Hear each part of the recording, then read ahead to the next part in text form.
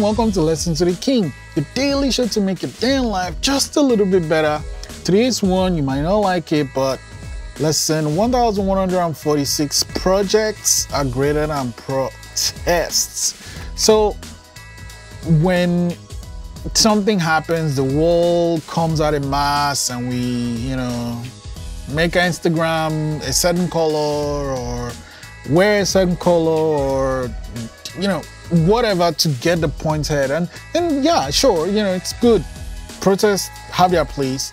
But if change is what we really want to enact the best way to get that change to the status quo is to have a project. So take that vibe take that spirit take that fire that is causing you to want to go out and scream and say stuff and think what is something that i can do that will push towards this change i need start that project, get people that want to protest to come and do that project, and then put in the work, and you will see that that causes more change than just going out and protesting. Because,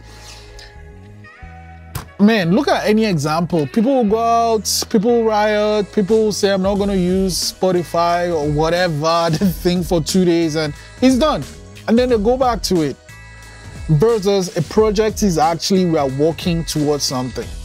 So yeah, sure, you might not agree with this because protesting, it feels good. You know, you're out there screaming and you're going with your friends and you're putting the cards.